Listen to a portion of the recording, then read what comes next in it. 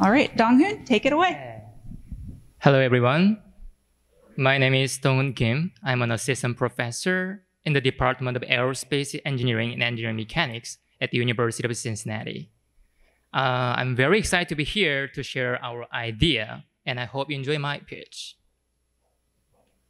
Okay, today we are going to introduce a new innovative engine called Gyro Engine.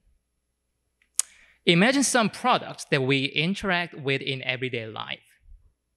A blender, drill, lawnmower, treadmill, automobile, and elevator.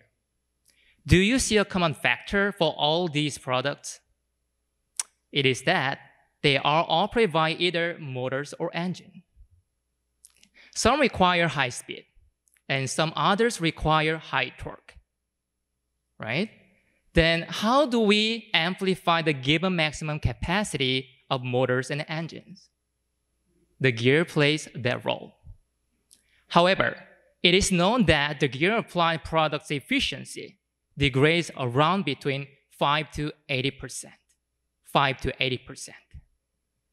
For smaller products like drill, people don't care this efficiency because the input power required is not that high. However, for bigger products like the elevator, it matters. For this reason, we focus on applications demanding high torque.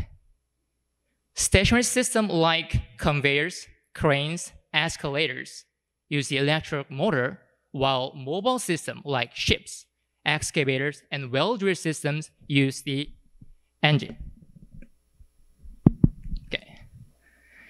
As mentioned earlier, there's a significant loss because of gear usage.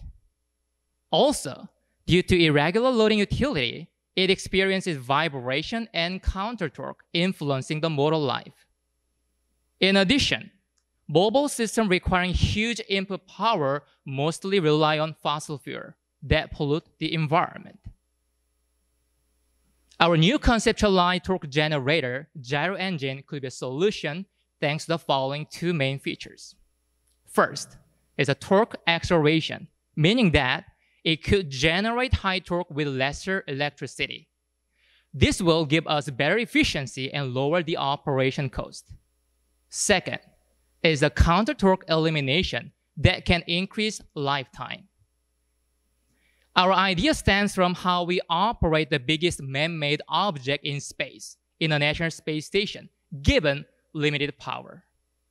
We are the first bring this down to the Earth. At this point, you may want to know about how efficient our product would be. Let us consider a 10-story shopping mall having four escalators on each floor. It typically operates the escalators for 14 hours a day for six days a week. The average price of the electric motor ranges from 3,000 to $9,000, and our gyro engine price will be comparable. Our product is expected to require lesser maintenance, but we assumed it to be identical for simple and fair comparison. Given the average electricity cost, the current utility is about $223,000 per year, but it is expected to be $58,000 per year by using our gyro engine, which is about a 74% reduction from the current utility bill. In 2020, the electric motor market size was evaluated as about $130 billion, and the high torque motor market size was about $580 million. In 2026, the electric and high torque motor market size is expected to grow about 1.4 and 1.8 times respectively.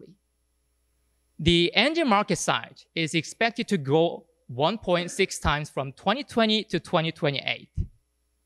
We don't know the market size that we can target for the engine at this moment, but the entire market size that we can target will be over $1.1 billion in 2026. This shows some exemplary applications, and our gyro engine could change current market ecosystem in a much better way. We validated our concept through simulation studies and filed patents for conceptual design. Now, we are ready to build a minimum viable product to demonstrate the feasibility of our concept and file additional patents. Next, we are targeting to commercialize our initial product around the end of 2025. Our team has over 70 years of development and research experience by managing 34 projects with a secured funding of about $4 million. Also, in light of the number of publications and patents, we are not only active researchers, but also enthusiastic inventors. However, we do need some guidance for our business model. If you are interested in our idea and vision, please be part of us. Thank you.